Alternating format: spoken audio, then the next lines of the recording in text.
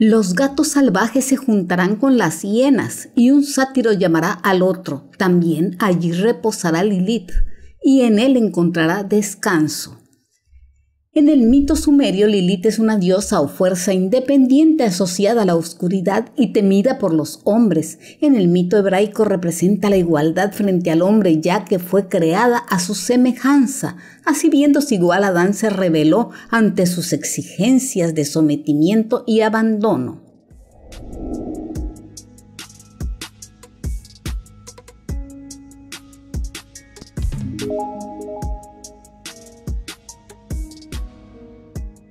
Lilith fémina diabólica, considerada por los textos hebreos la primera mujer de la creación, se configura a lo largo de la historia como una imagen última del pecado, del vicio, de la lujuria. Se niega a permanecer en el paraíso sumisa y obediente, así que se escapa y comparte su cuerpo con los súbditos de Lucifer. Es una legendaria figura femenina en la astrología que no es representada por ningún cuerpo celeste como Venus o Marte, sino un punto en la órbita de la Luna.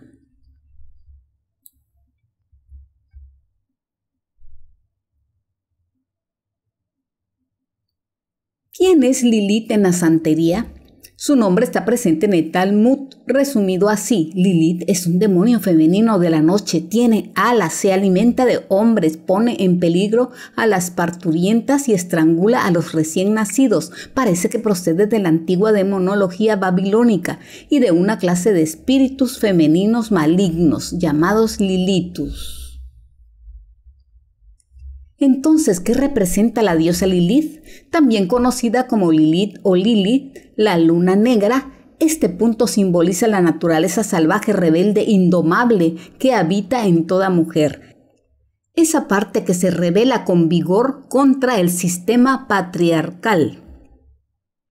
Por diversos motivos, según signo rige a Lilith, para empezar, Lilith no es un cuerpo celeste, sino un punto en la órbita de la luna.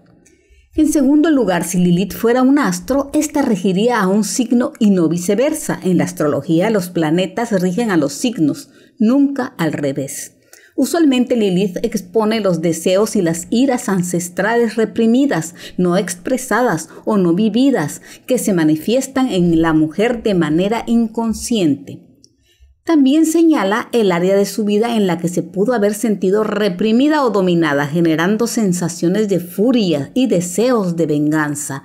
Esto hace que la naturaleza de la luna negra se despierte en la personalidad de una mujer, de manera impredecible, además de tener un potencial destructivo cuando emerge sin barreras desde lo más profundo del subconsciente hasta que sale de las sombras, el área de la carta astral en la que proporciona el Lilith tiende a generar cierto rechazo propio.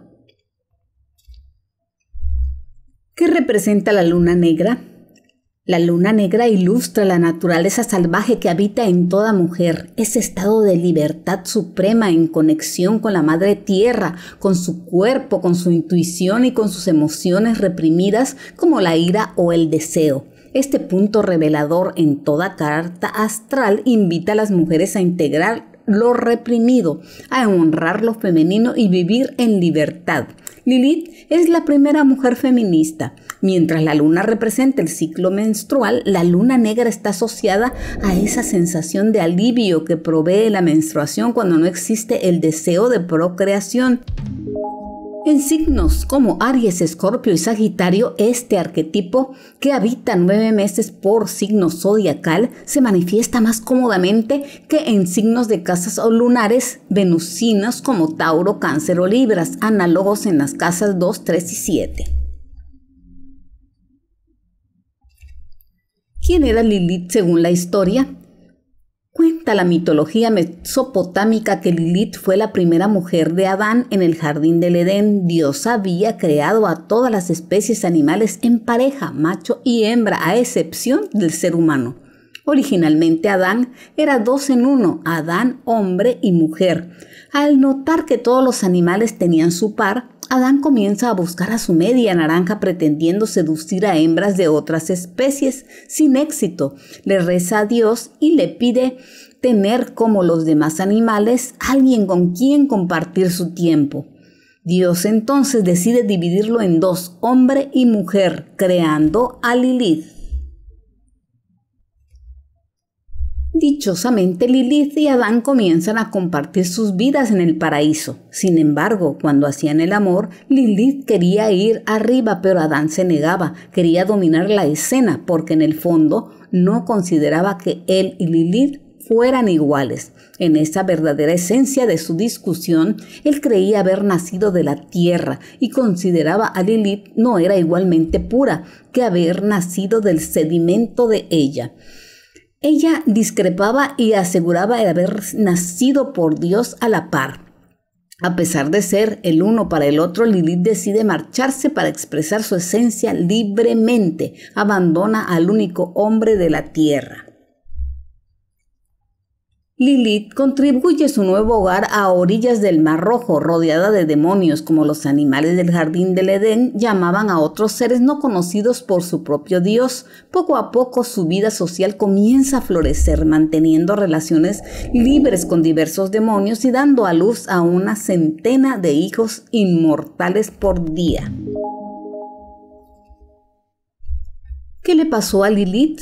Mientras en el mítico jardín Adán comienza a sentir la falta de Lilith y le ruega a Dios que se la regrese, Dios envía a tres ángeles a advertirle a Lilith que, si no regresaba junto a Adán, sus hijos inmortales se tornarían inmortales y los vería morir uno tras uno.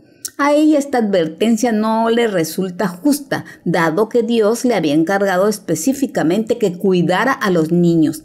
Ellos le responden que eso carecía de importancia, insistiendo que regrese al paraíso.